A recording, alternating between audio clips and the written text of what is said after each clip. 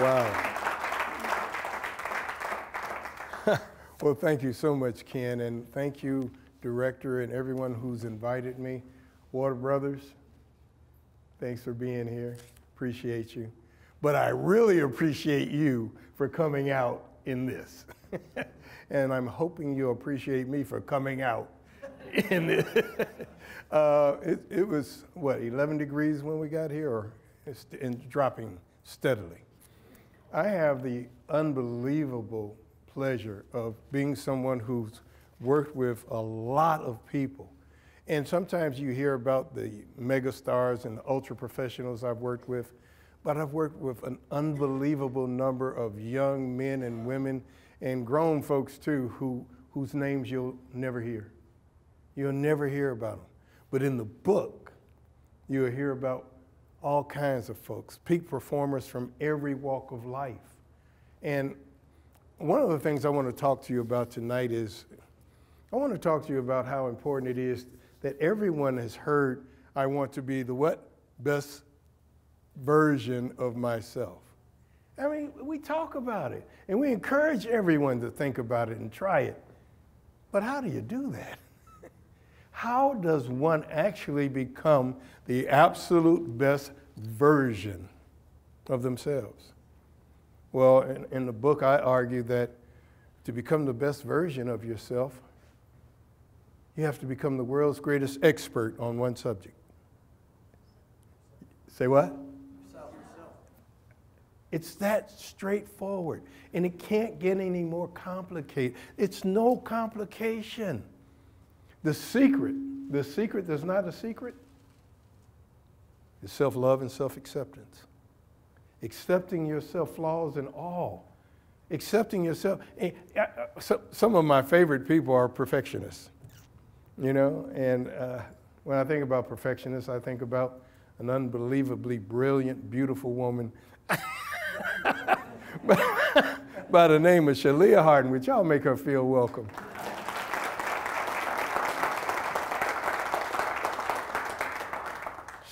Shalia will tell you what was it? Don't be perfect. What? Uh, progress over perfection. She talks about progress. And I've worked with some people. Imagine working with gymnasts. Any gymnasts or former gymnasts in the room? Okay, I could talk about you. Imagine working with a gymnast and their mission, what? Is a perfect 10 and then they do a triple dipple back over flipple land, pow, throw their hands in the air, smile, and everyone else applauds. Can you imagine trying to work with someone who's struggling with uh, self identity, struggling with uh, in, in the gym, struggling with their coach, struggling in class, struggling in their, with their significant other? And you talk to them and you say, Well, you know, what's going on? And all of a sudden you realize that you have to talk to them about how they define themselves, right? So I'll ask you, what's your name? Christian. I'll ask Christian, well, tell me about your Christian. And Christian will start telling me about himself. And then, but if Christian was a gymnast, the first thing that would come out of his mouth was, my name is Christian, I'm a gymnast. And I, I would say, well, how long have you been a gymnast? And they would say, since I was four years old. How can you not think you're a gymnast if you started at four years old? And your whole self identity, who I am and, how I see myself, is measured in performance. What we do when we talk about being perfectly okay with not being perfect is training perfectionists to surrender to the idea that it's perfectly okay not to be perfect, to be a human being. What I do with these high performance individuals and these pseudo, super duper, ultra professionals is talk to them like they're regular folks. Treat them like they're a whole person and not a CEO, not a uh, attorney, not a millionaire. Just, but are you still real? And how do you get people to become their best version of themselves? By helping them identify how important it is to do self evaluation, self assessment, right? To increase their self awareness. Some of the greatest leaders, some of the greatest performers you've ever met are more aware of who they are than the average person. They know what makes them tick. They know what, who, what pushes their buttons. They even know how to move their buttons. you may have to learn how to move. There's a, how many of you, I mean, watch this. How many of you love your family? And all hands go up. How many of you got somebody in your family that gets on your last nerve every time, they, every chance they get, right? And you know it, but nobody else better talk about them because you love them. When we're talking about loving ourselves, we got to love ourselves the way we love the, the person that gets on our last nerves. Because sometimes you get, you get on your last nerve, right? So when we talk about this book, I want you to be crystal clear. I am so grateful to Tom Brady for writing the foreword. It was very thoughtful, and, and, and he did it in, in two weeks. He, had, he, he wrote it and sent it in. When you hear about some of the people or read about some of the people in that book, I am eternally grateful to them for allowing me to talk about them and to tell their stories. All right? So, I'm going to give you some stuff to think about tonight.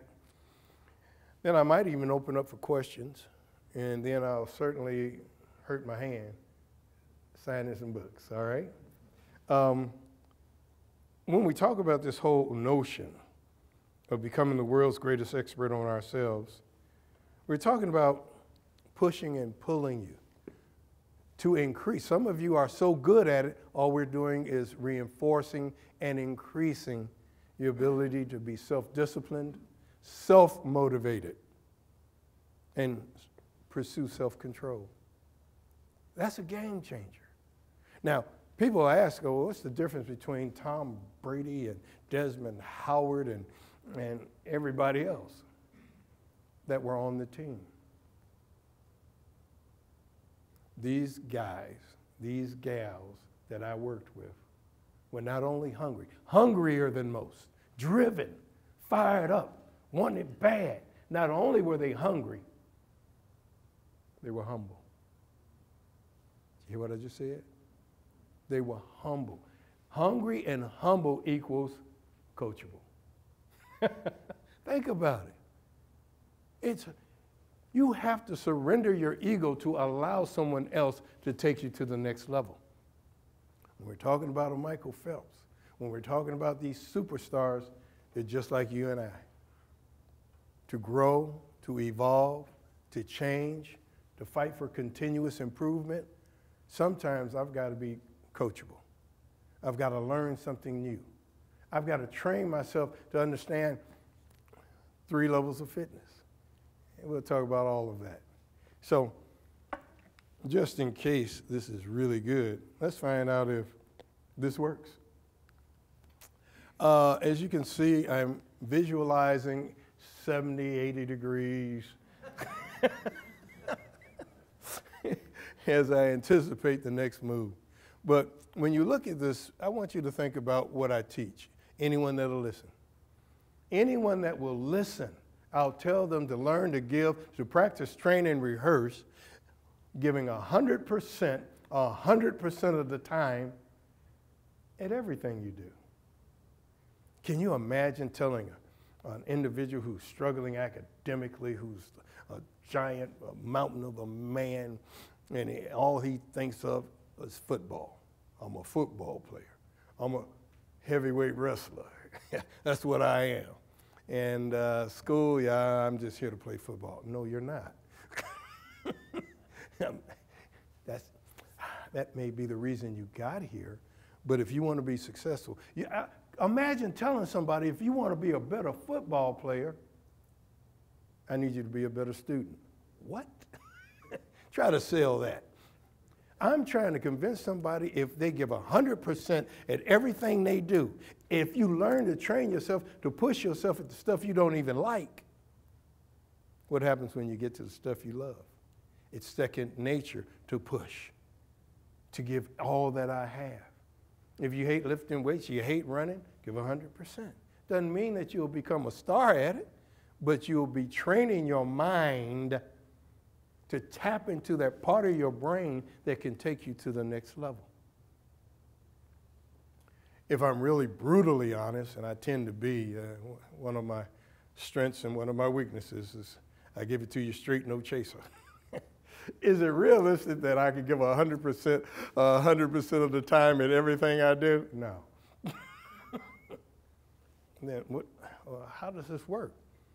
If my mindset, if my growth mindset, if my default mode, if my automatic always come back to is 100%, 100% of the time, before my off day would be 30%, 50% on a good day.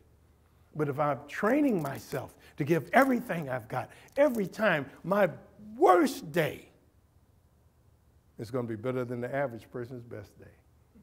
All of a sudden, my worst day is 85%. Any teachers here? And 85% is what grade? Solid B. I say what? Solid B. Solid B. You understand? That means I'm above average. That's all we want to train because I'm not Peter perfect and I will have an off day. We want our off day to be stronger than the average person's best day. Does that make sense to y'all? That's what I teach. That's what I train. I'm teaching you to, to, to try to get all. I've got people who come in who are struggling academically and tell them, you must believe that you can get a four point. And when you get that 3.5, I want you to pretend you're upset and mad. I've had guys who were in academic trouble end up on the dean's list. Now, that's, that's the story that you need to hear. I've had young men and women who were struggling mightily tap into a part of their brain, part of their self awareness that taught them to just give everything you got at everything and it becomes second nature. The other thing that might be interesting to you is this whole idea of, oh my God, look at this.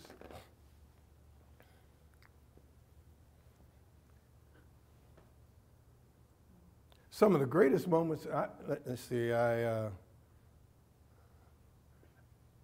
I said hello to a couple of people. This, this gentleman, you in the middle, what's your name again? Willie. Willie. I don't know Willie, but I can tell you about Willie and everybody in this room. There's been a magic moment in your life, a moment, an adventure that you've been a part of, some of the most fun you've ever had. You're about to crap your pants before you do. Am I right or wrong? Think back to one of those unbelievable grand adventures. One of the times you had to face something you didn't think you could face.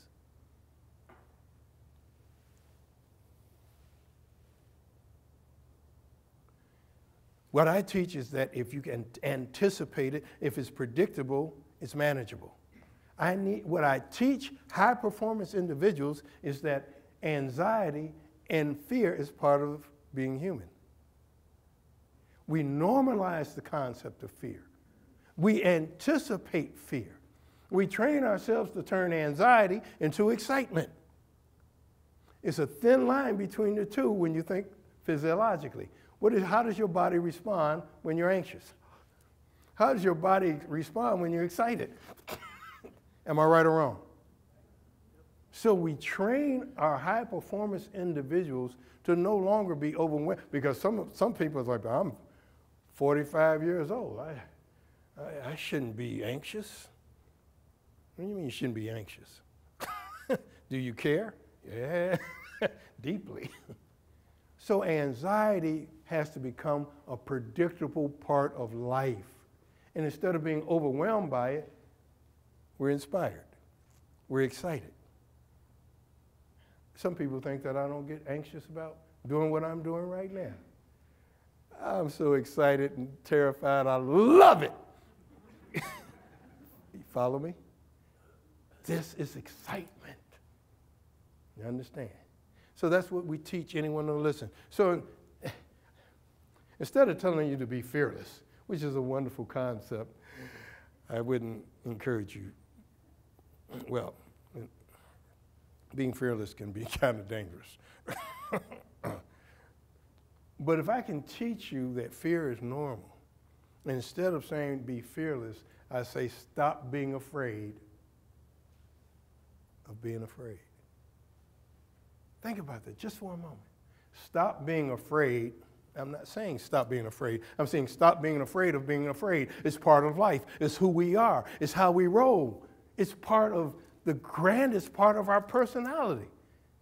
You know, somebody cut you off on the road, you think a saber-toothed tiger is after you.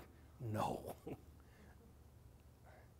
we must learn to manage our emotions and stop being afraid of being afraid. My wife found this when I was fascinated by this face everything and rise. That's, think about it. So, what else do I teach, and what else will you learn in this book? control the controllables.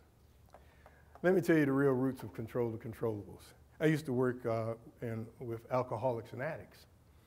And, uh, you know, I, I wasn't recovering, but I still had to train and learn and, and process at a higher level. And I saw this saying called the Serenity Prayer. Anybody ever heard? Look, you don't have to be an alcoholics and, and whatever anonymous. That, for those who haven't heard it, God grant me the serenity, the presence of mind, the peace of mind, the stillness. God grant me the serenity to accept the things I cannot change. Whoa! The, the courage to change the things I can and the wisdom to know the difference. Well, I saw this, I'm like 30 years old. I'm saying, they need to teach this in school. right? I mean, no one told me. I, it was a, it opened my whole mind up. You understand? Stop being afraid of being afraid. Have the serenity, the courage, and the wisdom to know I can't control everything. So what I'm going to control is what's in my control. Stop trying to control everybody. You cannot control people you love. Stop it. Unless you just want to push them away. we have to train ourselves to overrule that part of our personality that wants to be in control. I am a control freak. Apologies. but I had to learn to balance it out with understanding it's foolishness to think I can control everything. It sets me up to fail. It will set you up to fail. So the roots of control, the controllables, comes from me for 40 years. I would have a sign on my door before I walked out to go to work, to go to practice, to do anything. It would say the serenity prayer. And the other thing I had on my door was like, learn to laugh at yourself and you'll always have something to smile about. Think about it. But you have to train yourself. You have to train yourself. So when you look at control the controllables, how you respond and how you react is up to you. I can't control what just took place, but how I respond,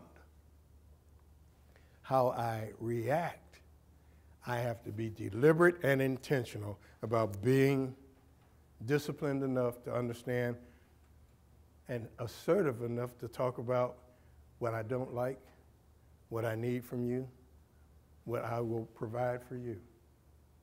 Control the controllables takes you to a whole nother level of self-awareness and understanding on how to work on yourself and how to work with other people.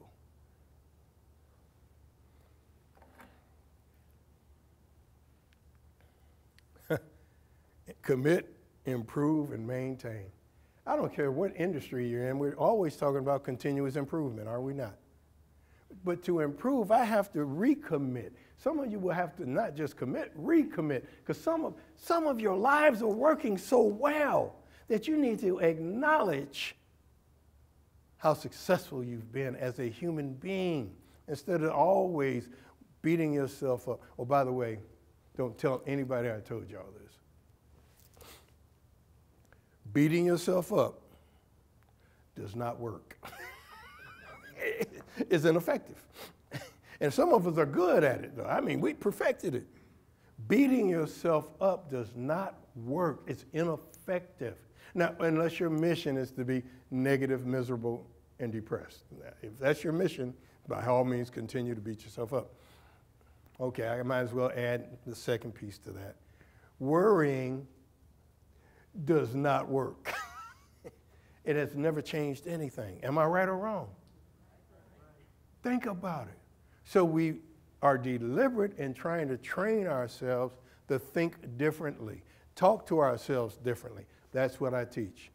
Commit, improve, and maintain. But understand we're talking about tiny improvements instead of these humongous, sensational improvements that you dream of. Could you take one step at a time? Could you allow yourself the freedom to change one tenth of 1% every day? Man, in a couple of years, your stuff will be right. That's where we're going with this whole piece, and there's a whole chapter on CIM commit, improve, and maintain. Up, become the world's greatest expert on one subject you. These are pretty good models. And this spot is waiting for who? Waiting for you. This spot is waiting for you. And that's not talking about being a megastar, it's about being a megastar in your marriage, with your kids, with your parents. It's talking about being a megastar at your job. I remember a job I took one time. I, I just got out of college and I wanted to create a health club. And I said, I don't know how to create a health club. Perhaps I should go work in one. so I went to, oh, I forgot I'm in Michigan. I went to Vic Tanny International. oh, and if, uh, I'm sorry, this just came to me. One of our sayings we can shape you, tone you, or ship you to Livonia. I swear to God. Whatever you need. Just come on, join our, our health club. I swear, this cracks me up. I'm in Livonia. Okay. you know? But I went and got this job in this health club, and this story's in the book.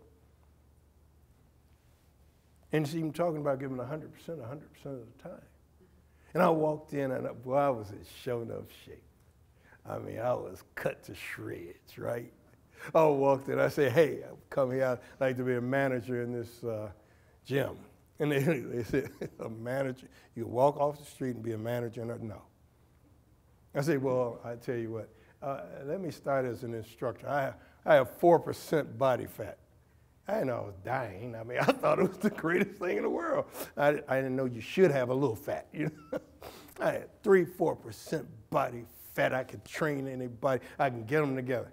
We don't need any trainers right now. I said, well, what do you need? You know, tell me what you need, and maybe I can assist you in some way, fashion, or form. They said we need a porter. I said, I'll be your porter. I forgot what a porter was. I, I didn't know the porter was the janitor.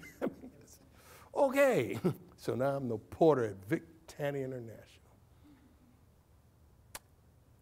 I had more fun than bubblegum being the porter at Vic Tanny's.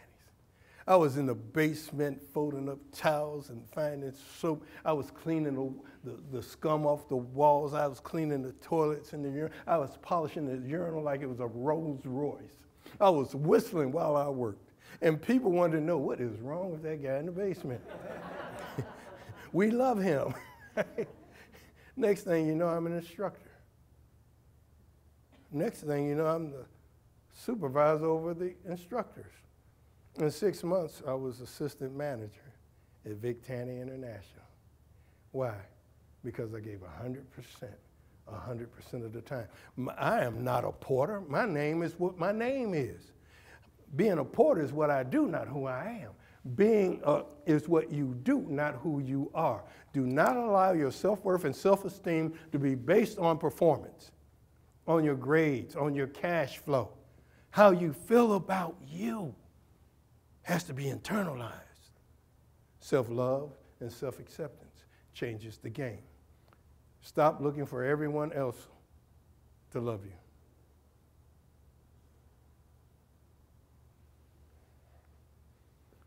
So commit, improve, and maintain over time. There's our kids, our guys, and you. Ah. Where do we go? Where do we keep going? Over and over. This is what we'll reinforce over and over in this document. I also talk about self defeating attitudes and behaviors in the book. To identify what's working and what's not working in my life, I've got to look at some of the characteristics that I have in terms of how I think and how I act that might sabotage my dream.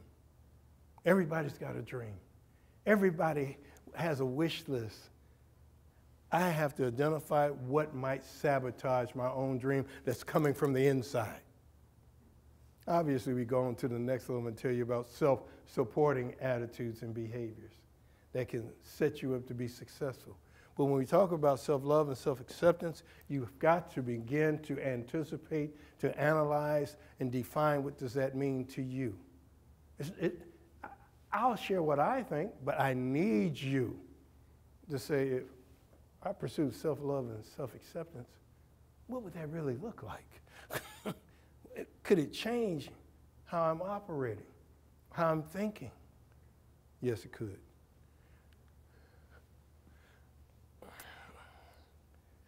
I shouldn't tell you all this. It gets confusing. You've seen, some of you have been around the world. Some of you have visited uh, Detroit Zoo. Some of you have watched National Geographics. Some of y'all, Crocodile Dundee. You've seen creatures from all walks, all over the planet, and some of them have been amazing. But there's only one. One creature that has the ability to decide, I'm not going to be the same today as I was yesterday. That's what the book is talking about. Human beings can transform themselves. They can shift the way they think, the way that they act. They can go to the next level. They, instead of going through it, they want to grow through it. You will be tested in this life. And when we talk about being tested, I got to take you to, I mean, let's finish this piece. Boom, that's who we are, all right? But listen carefully. There are three levels of fitness. This is how we're going to wrap this up. You ready? There are three levels of fitness physical, mental, and spiritual. Everybody in this room has a clue about physical fitness.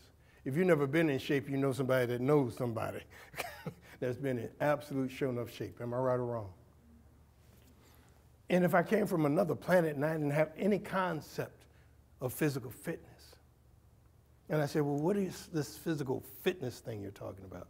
You, you of course, say what? Endurance, stamina, strength. You might even say flexibility, right?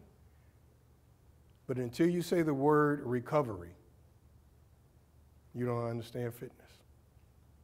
When I'm physically fit, when I'm physically fit, not only can I give 100%, I can rest for a minute and do it again. That's in shape, right? So, physical fitness is something we should pursue. You don't have to want to be a, a, a muscle head. You don't have to be, want to be a marathoner. Could you just walk 30 minutes uh, three days a week? Could you do something to, to make your heart rate change? Just because you want to be the best at everything, you will have to train your body and not just assume because you're in good shape that you will remain in good shape. Or because you look differently than everyone else doesn't mean you can't be in shape. There are people that mm, will be body shamed in better shape than all of you. Am I right or wrong? But, okay, that opened up the door to what? Mental fitness. See, a lot of people we work with and have talked to don't want to talk about mental health. So I trick them. I uh, talk about mental fitness. Because you can practice train to be more mentally fit. But what is mental fitness? You will be tested in this life. Everyone in this room will have trials and tribulations. They will have heartache and heartbreak and loss and grief and disappointment. How fast you recover. How fast you recover. It doesn't mean you won't get knocked down or hurt or disappointed, but how fast you come back tells me that you have trained yourself mentally and in terms of self-talk, self-awareness, pursuing, for asking for help. Um, I know this is hard. Asking for help. I know a radical concept, right? And, and, I'm a professional helper, but my father taught me a simple lesson. I went out in the yard one time, I was eight years old. I said, but can I help you, Dad? My father looks at me and said, boy, let me tell you something. If you see me in a bear fight, eight. if you see me in a bear fight, don't help me, help the bear. I don't know what he's talking about. By 14, what do I know? A man don't ask for help. I know you didn't have the same father, but we've got some people in this room who were trained to not ask for help. They fell for the, the fantasy that it's a sign of weakness. So if you are a major CEO and running things and you're a multi-millionaire every year, would you use consultants? Well, wait a minute, I'm paying you $20 million a year. You need a consultant? Why? Because I can't see everything. Because I can't see everything. I'm in the middle of it. Turn counselors into consultants. Stop thinking, well, I don't need anybody in my head. I don't need no therapist. No, you need a consultant. and if you don't like them, fire them and hire another one. I just opened the door for some of y'all to get counseling. I mean, you all, hey, that's what we need to do. But when we talk about spiritual fitness, I don't need you to believe what I believe. I'm faith based and solution focused. But you better believe in something. Because there's going to be times in your life when your body is going to be broke down and your mind is going to be worn out. You're going to have to tap into something. So, what we teach, we open the door for people to understand there's another level of awareness and a belief system that sometimes will be all we have to get through to the next day. Ladies and gentlemen, that's stay sane in the insane world. That's what's in the book. If you're comfortable, I'll open it up and have a couple of people ask questions if they wish.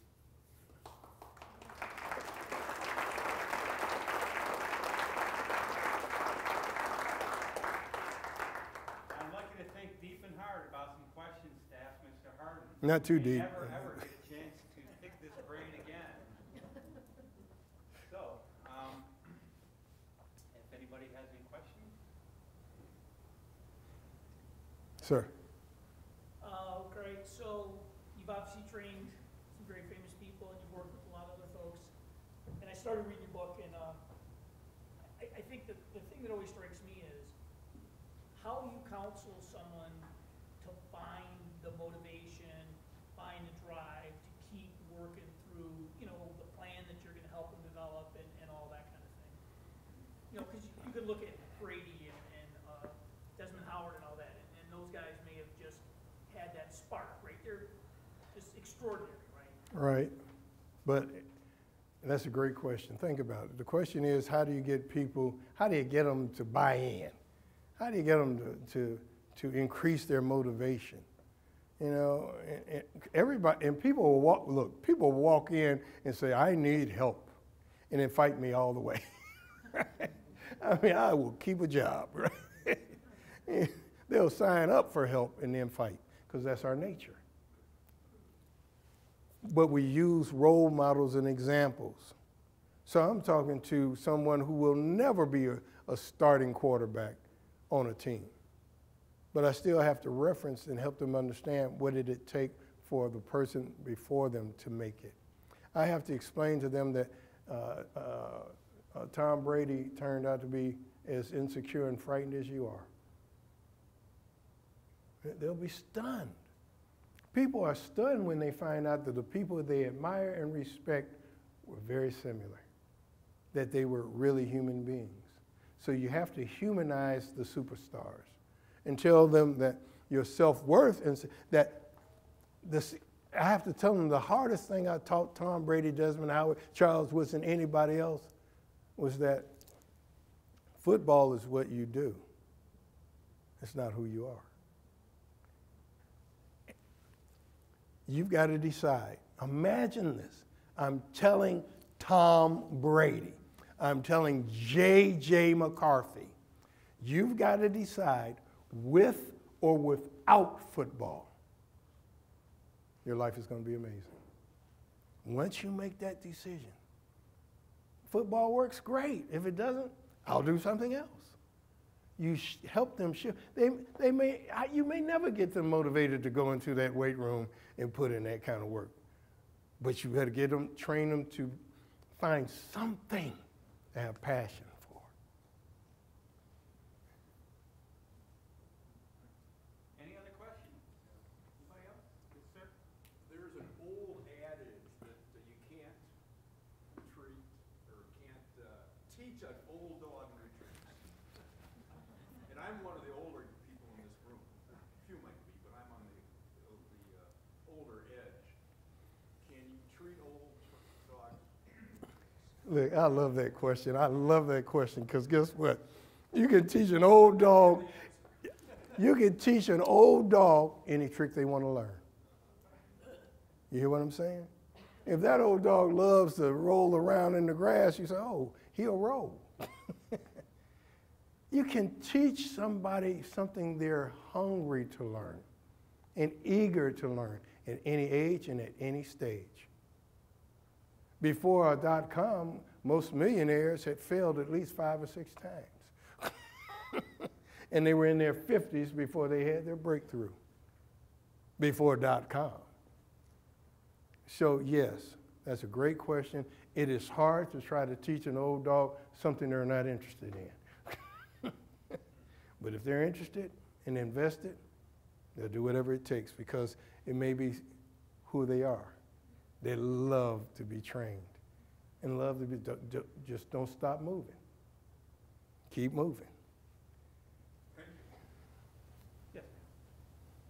Oh, uh, growing up with a dad who taught you that you should never be afraid, um, how did you arrive at or what transformed your thinking into the philosophy that you have now? Oh, I'm watching you. That was a great question. Think about that question. Did everyone hear her? I get accused of being a sports psychologist, but really, my model is social work. So I had a guy that believed in me before I believed in myself con me and manipulate me into becoming a social worker? You, you want me to do what?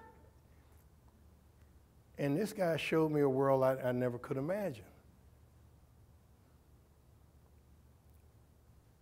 In order to buy into the whole social work model, I had to see the whole person, not just from the neck up. The psychologists are brilliant. Their mission is the neck up. I'm looking at who you're hanging out with. I'm asking about what your daddy taught you when you went out to the yard. I'm going to find out who you're dating. I want to know what motivates you. I want to know what childhood trauma you had to endure.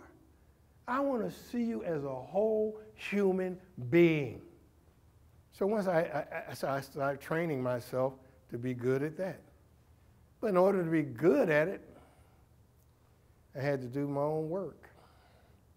I had to increase my self awareness and my ability to read myself, to be able to see my own strengths and weaknesses, to increase my ability to see and help you have your breakthrough. So I had to practice, train, and rehearse. I had to surrender my ego. And it was pretty big when I was a young buckaroo. And I had to understand that the more I know, the more I know I don't know. So continuous improvement is what I bought into. I bought into continuous improvement and trying to take the, my, my game to the next level. And my game was working with people. And I loved it. I found something that I would do for free and figure out how to get paid for it. Thank you for your question. So you had the question about the Bulldog new trick. So my buddy and I here, we, we teach and coach, and we coach young people, and I teach in the middle schools. And to control the controllables, when you're having this next generation come up, and so much of their brains are being impacted and wired differently by some of the things that I don't know that they realize are controllable.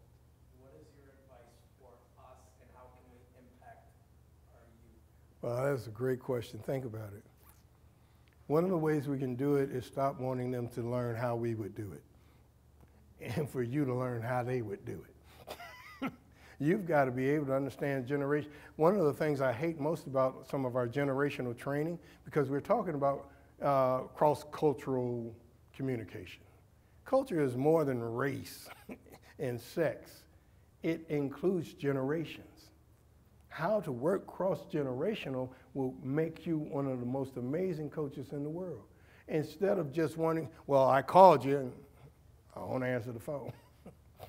I'm going to call you, I'm going to email you, and I'm going to text you if I'm serious. because one of them might work for you. You've got to teach them to be universal in their understanding that everyone doesn't see the world the way you see it, but you've got to practice what you preach. You've got to make sure that you talk to your audience in a language they understand. You have to study them. And study, um, I, I, I saw a, a, a rancher who raises sh- sheep and cattle on TikTok. rancher on TikTok? He's on TikTok trying to get people outside of his community and outside of his world understanding his world. So you've got to find out what they're excited about. I used to have Desmond Howard come and tell me what lyrics are, are, are working in, in, in, the community right now in, in these rap songs. I'm not going to listen to this crap. You come and school me. Tell me what. I, I'm not. So I, have, I would have my spies, my cultural spies come and tell me this is what people are listening to, this is what's hot. And he'd give me the lyrics that, that might work for me because that was my guy.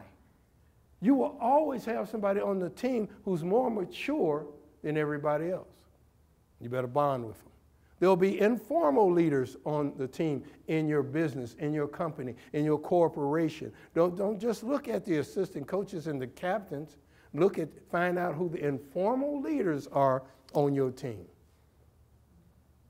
And study them, and watch them, and use them to be someone that's showing you what's going to work, what might not work. I hope I answered your question. Thank you. Okay. One more. Um, so in uh, thinking about your concept 100%, 100% of the time, how can we avoid burnout? Ooh, by giving 100% at relaxation. am, am, am I serious? You know I'm serious. If you're going to have fun, have fun. If you're going to have a relationship, you, you, you, you can, you'll, you'll make appointments and you'll do anything not to break that appointment. Am I, am I right or wrong? But when you make an appointment to yourself or to your significant other, eh, I, well, maybe I can move this. Don't move it. Make sense? If you're going, if you know how to have, some of y'all need to learn how to have fun again. Ain't talking about the fun you used to have. The things we used to do, we don't do them no more. but there must be a new way of training yourself to relax. I mean, we've got a, a, a national championship quarterback who's meditating. You know, football, he's talking about yoga position and my chakras, my center of my being. He's serious because he wanted to be the best. And whatever it would take for him to be the best is what he would study. So being able to relax in stress, intense moments, give 100% at learning how to relax. Some of us have to train. We talk about it, but we don't do it. Thank you for your question. All right. I just wanted you to expand on the, being the best version of yourself. When you talked about the three levels of fitness, mental, spiritual, and physical fitness. So I think the theme between all three is recovery.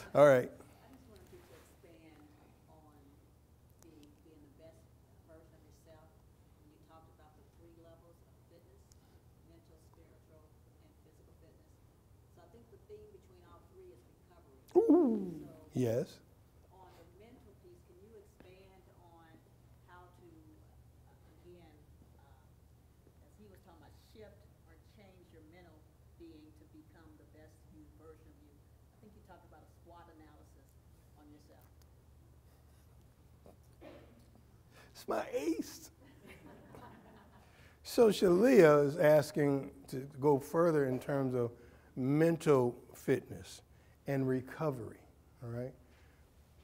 In order to really take it to the next level, what we introduce to people is, again, how to become the world's greatest expert on yourself. She opened up the door for me to talk to you about what else is in the book, and that is SWOT yourself. What? S W O T. Some of you uh, business uh, executives and MBAs, and some of you uh, organizational development gurus have taught SWOT analysis.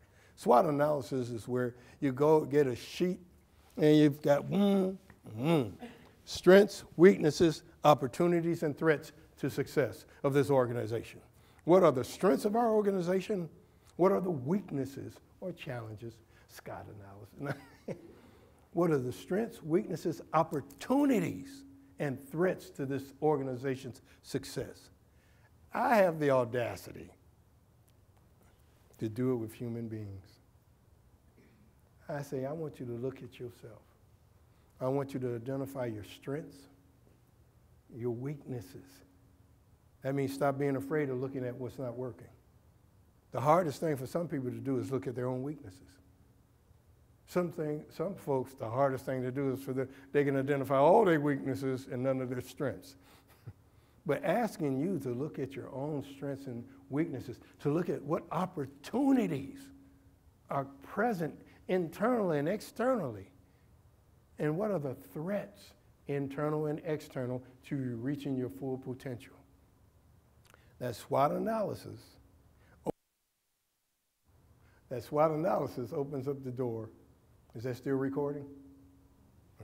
Opens up the door for you to understand mental fitness, self evaluation, self assessment is, the, is and gives you an advantage over all your competition.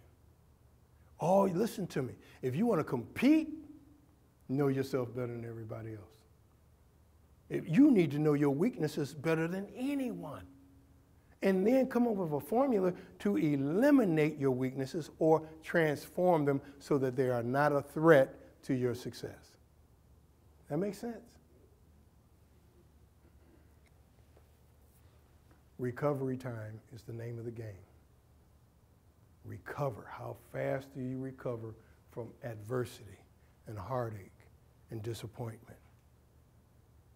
It may be a long time, but all you want to do is learn how to shorten your recovery time. You will still have to recover, but could we reduce how long it takes for me to bounce back? How'd I do?